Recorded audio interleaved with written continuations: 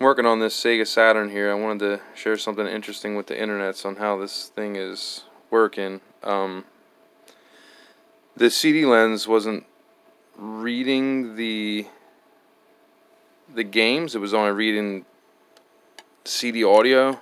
Um, so I tried to clean the heck out of the laser there, and I wound up like half breaking it because then when I put the disc back in, it wasn't detecting the disc at all, and it wasn't spinning the disc at all because the way these things work, it has to detect the disc is there before it even tries to spin it.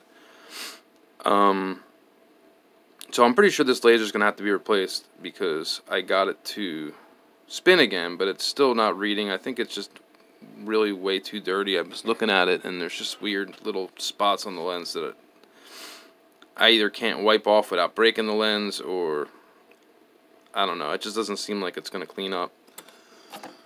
Uh, but interestingly, if you put the CD audio disc in there, which I have the thing tripped so that it always thinks the disc is in, and it already read this disc and got its table of contents before I started this video, so that's why this is going to work. Uh, if I play the audio, it sounds like garbage.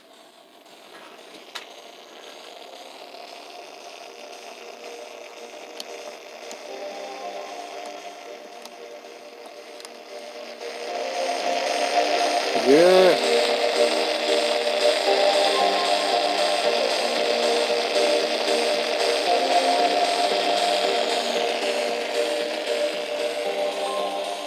It just sounds like complete garbage, which is so interesting because it's reading the data. It's just reading it wrong. So to see the audio is like, okay, this just sounds like garbage, but when you try to run a game, it's like, nah, I can't run that. I thought that was really interesting. I never, I never knew that was a thing with these. I got the RF output hooked up to this uh, oscilloscope here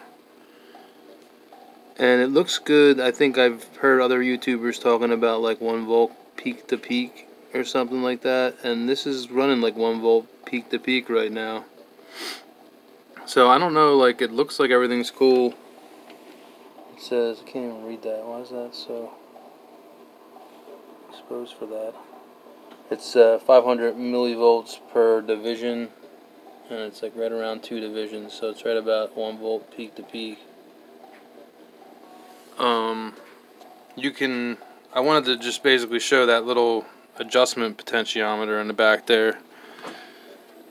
That's what that adjusts, is that peak to peak voltage when it's running. If I turn it down, I don't think I, there you go, see how it dropped? If I go down much further, the CD's going to stop playing.